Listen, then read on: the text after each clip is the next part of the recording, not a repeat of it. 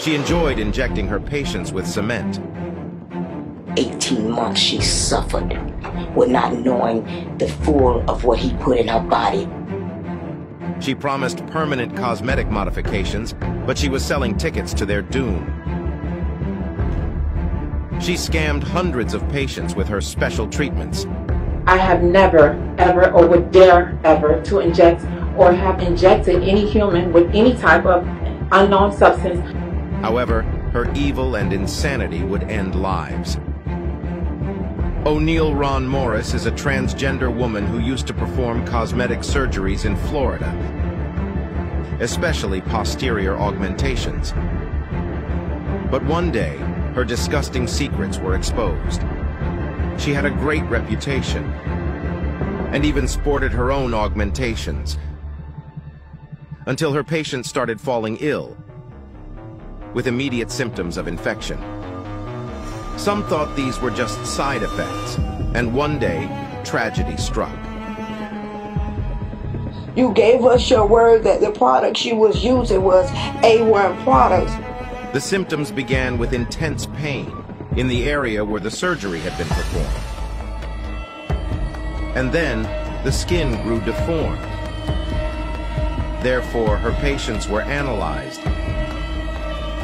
and construction materials were found inside of them. From cement mixes to glue, even tire sealant. All extremely toxic substances for the human body that forced them to seek medical treatment. But one of them couldn't get it in time. My daughter died the most inhumane 18 months she suffered with not knowing the full of what he put in her body. It was Shatarka Nuby, who fought against the symptoms for months until she passed away. And now it was Morris's time to pay for her actions. The cement doctor had to appear in court, where the families of the victims expressed their pain. She got three kids! No remorse! Everyone wanted she be made an example. And Oneal had more than one crime under her belt. She had been reported in the past, not only because of her procedures, but because she didn't have a medical license. However, she would try to get away. She told the judge she was innocent. I have never, ever, or would dare ever to inject or have injected any human with any type of unknown substance. That these were all false accusations. I have been found guilty by the media and outside sources based on lies. However, the court had their verdict already. She was sentenced to 10 years in prison, plus five years probation, for the indirect crime of Shatarka Nuby and the accusations of dozens of women that admitted they had suffered terribly after being scammed by Morris.